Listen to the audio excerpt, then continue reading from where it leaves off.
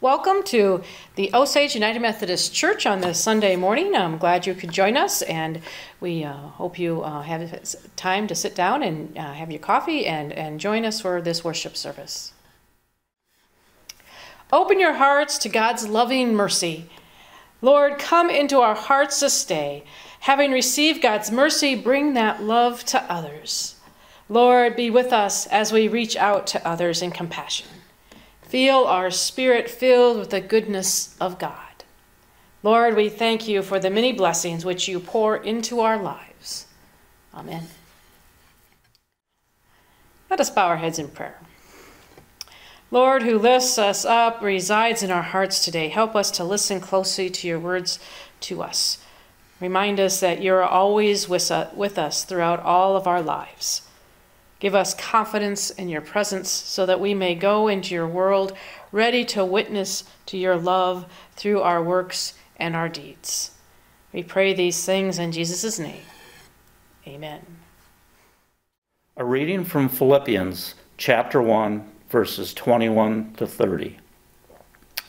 For to me, living is Christ and dying is gain. If I am to live in the flesh, that means fruitful labor for me, and I do not know which I prefer. I am hard pressed between the two. My desire is to depart and be with Christ, for that is far better, but to remain in the flesh is more necessary for you. Since I am convinced of this, I know that I will remain and continue with all of you for your progress and joy in faith, so that I may share abundantly in your boasting in Christ Jesus when I come to you again. Only live your life in a manner worthy of the gospel of Christ, so that whether I come and see you or am absent and hear about you, I will know that you are standing firm in one spirit, striving side by side with one mind for the faith of the gospel, and are in no way intimidated by your opponents. For them, this is evidence of their destruction, but of your salvation. And this is God's doing for he has graciously granted you the privilege not only of believing in Christ, but of suffering for him as well, since you are having the same struggle that you saw I had, and now hear that I am still that I still have. Here ends the reading.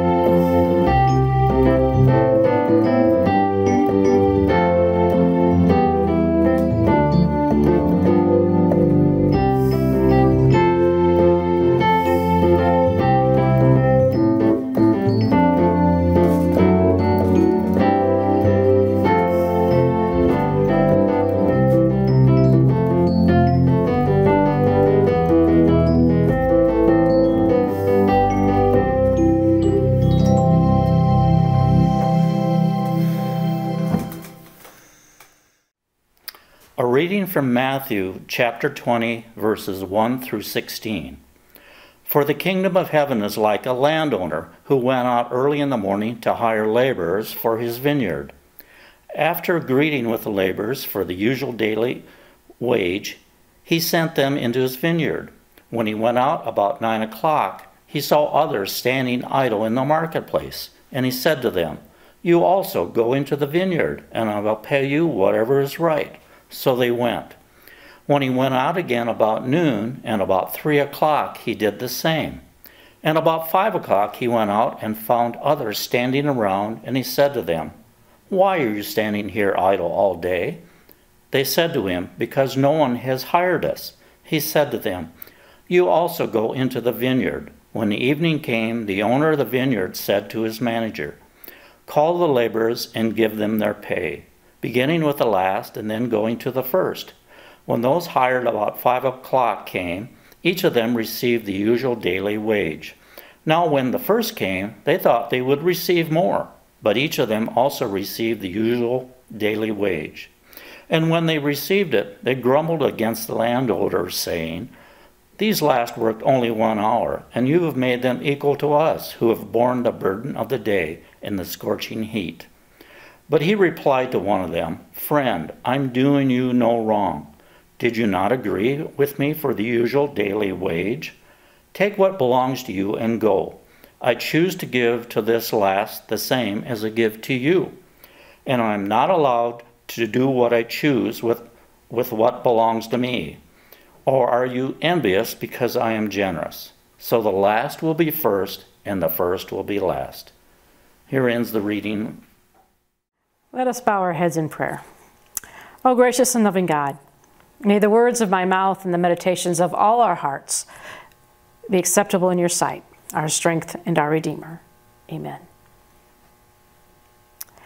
One day, a rich young ruler came enthusiastically running up to Jesus and asked, What must I do to be saved? Jesus answered, Keep the law. This I have done from my youth, the, the man replied. Yet one thing do you lack, says Jesus. Go and sell all that you have and give it to the poor. Then come follow me. We were told that the young man walked away sorrowfully. He had great wealth. And, Jesus, and the Master says, it, was, it will be hard for a rich man to enter the kingdom of God. The disciples had been watching this, watching the dynamics of this happening, and they were quite disturbed. Jewish tradition had always taught that God especially blessed rich men, and that is why he was rich. In their way of thinking, if a wealthy man could not receive salvation, then how could a poor man have any hope? They asked, they asked of Jesus, who then uh, can be, asked Jesus, who can be saved? Reminds me of the movie Fiddler on the Roof. The poor Jewish milkman who lives in the early 1900 Russia sings what he, what would he do if he were a rich man? His wife reminds him, money is a curse. And he immediately uh, shouts up to heaven, curse me, God, curse me. Jesus had just turned away a wealthy man, and in the Jewish way of thinking, it didn't make any sense. In fact, I'm not sure how many preachers would have the courage to do it. But it was Simon Peter who drew the question even clearly, uh, more clearly into focus for us. He asked what was on the mind of every one of us. Only we're not all that courageous to, to even admit that we even want to say it or think it. And Peter didn't have any problem with that at all. He simply laid his cards out on the table. He said, Lord, we have given everything, riches and all, to follow you. What then shall we have? In other words, what is in it for us, Lord? How do we stand to profit? Where's the payoff? And to respond to Peter's question, Jesus told the story.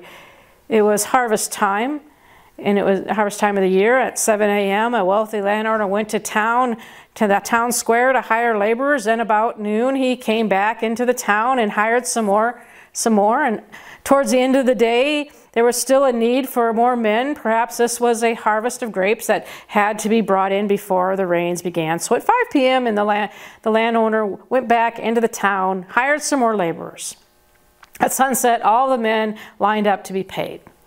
When they got their envelopes, lo and behold, all of them had been paid the same amount.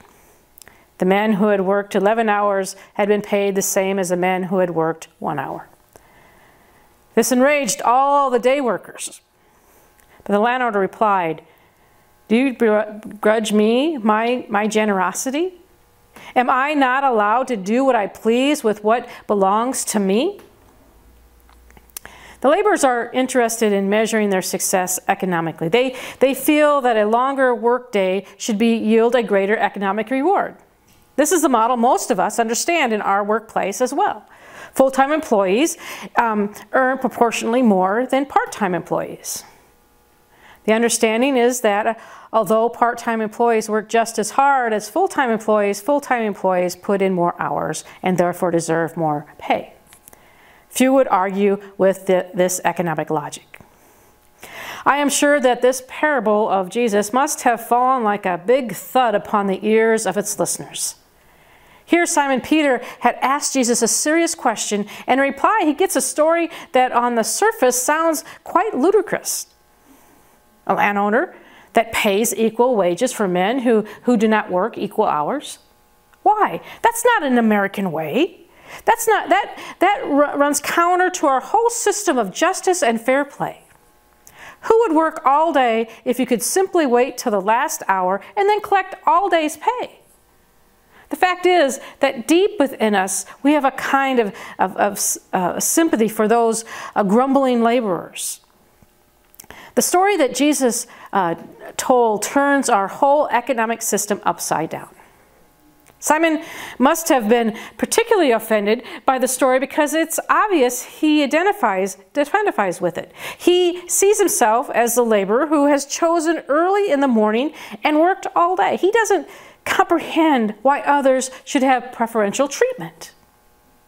Now, don't you get Simon's don't you get Simon Peter uh, has been wronged? He he's not opposed to to uh, uh, favors being dispensed. He simply believes that if anyone should receive them, it should be those who work in the fields all day, just like himself. By telling his story, Jesus is informing Simon Peter that he will get no more reward from discipleship than anyone else. The person who comes late is just as important as the one who comes early. What if the wage in our parable, though, is grace? If grace meets you where you are and makes you whole, will you complain that some people were made whole thanks to more grace than you received? Or will you be grateful to be made whole and see others made whole, lacking nothing and living into the beauty of being God's beloved child? An economic model doesn't work when we are discussing grace. In fact, that just doesn't seem fair to us. It goes against the um, business mentality that, that dominates our lives. We have always been taught you only get out of something directly in proportion to which you put into it. Yes, that is not what happened in Jesus' story. In our way of thinking, the laborers who came to the field late got something for nothing. This parable challenges us not to look upon the kingdom of God or the church as a business community. Yet that is um, difficult for us to do because that is our point of reference. We protest as loudly as Simon Peter is protesting to Jesus. You see, we live in a world of tenure and seniority, and it goes against our grain when we hear Jesus say, The first shall be last, and the last shall be first. Certainly, this was foreign to the Jew- Jewish mentality, and for, for they were God's chosen people. They were the laborers who had been in the field, worked hard all day long. Of course, the real problem, and in turn our problem, is that we really do not comprehend the nature of God's unmerited grace. We sing songs like Amazing Grace, but the truth is that we usually are uncomfortable with last minute deathbed conversions. We feel that those people have gone have gotten the best of both worlds. It doesn't seem fair. Dr. William Power, professor at Southern Methodist University, describes an experience he had in a Sunday school when he was a boy. His teacher was trying to explain to him and his rowdy friends the meaning of grace. But she wasn't getting very far. She wasn't getting across to them. She was, she was uh, uh, tried definitions and abstractions to no avail. Finally, she realized something the boys had known from the start. She was not connecting. She was not getting through to them. She didn't have the foggiest notion, they didn't have the foggiest notion of what she was talking about. So she took a deep breath and tried again. She said, Look, boys, grace is the break you get when you don't deserve it. That's the simple explanation. But you won't really understand it until you experience it. But God's grace is not based upon what is fair, but rather what helps. It wasn't fair that the laborers who worked only an hour received a full day's wage, but look who they were. All day they had been in the town square and no one chose them for employment. They were the rejects. Uh, the landowner asked them, Why are you standing idle? Their response, Because no one has hired us. They were the rejects, the bottom of the barrel. So now go back to the beginning of the parable and reread what the landowner said to those he hired in the beginning of the day. He said, I will pay you what is right. What he paid those last workers who were in the fields only one hour was not correct based upon the minimum hourly scale, but it was right because of the des- desperateness of their condition. God's grace isn't based on fairness, it's based upon what is right and what helps. If there is any special payoff for being selected early in the, the labor and, uh, in the Lord's field, it's simply the inner satisfaction that we receive from being in God's employ, employment. But we are so much like those, those all day laborers. Notice how they, they worded it. We carry the burden in the heat of the day isn't that the precisely so often how we look upon service in the church, not as a joy, not as a privilege, but a burden to carry in the heat of the day? Clearly, when Simon Peter asked Jesus what they were to receive from the kingdom, he had in mind something a little bit more substantial than inner satisfaction. But we still don't think that the whole thing is fair, and, and by our standards, it certainly isn't. You see, we live in a world tallies and accounts of debts and owed and debts paid. We live in a world of boundaries and schedules and spreadsheets and bookkeeping and hourly wages. The kingdom of God is on another dimension, one that turns our world upside down. The economics of the kingdom of God are quite unlike the economics of the world.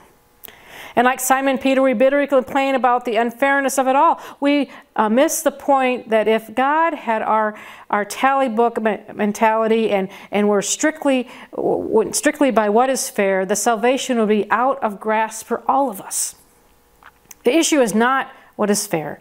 The issue is how can we bring more into the fields to serve? Why?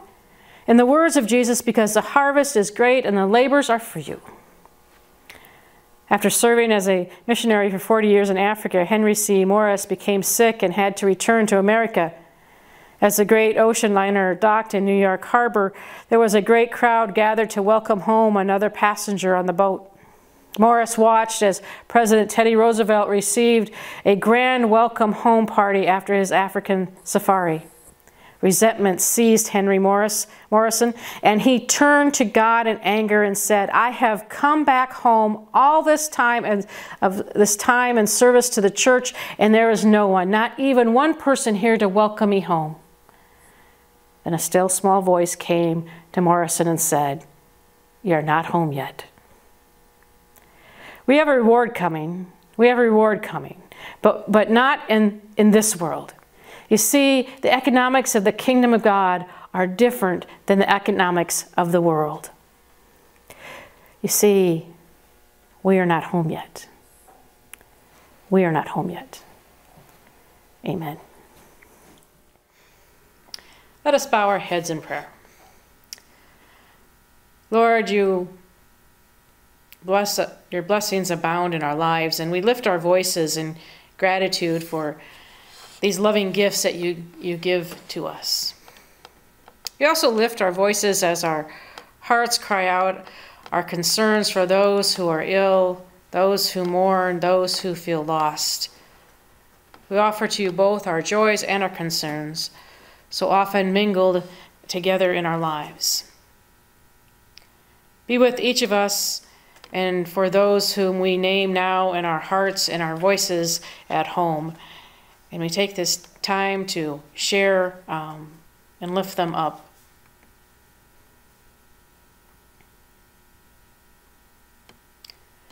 Lord, you have heard our cries and our shouts of joy.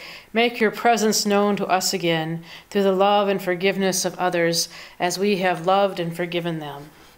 And we pray all of this in the name of your Son and our Savior, who taught us this prayer.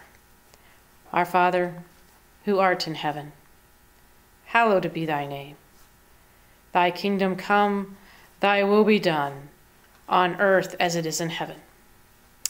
Give us this day our daily bread, and forgive us our trespasses, as we forgive those who trespass against us.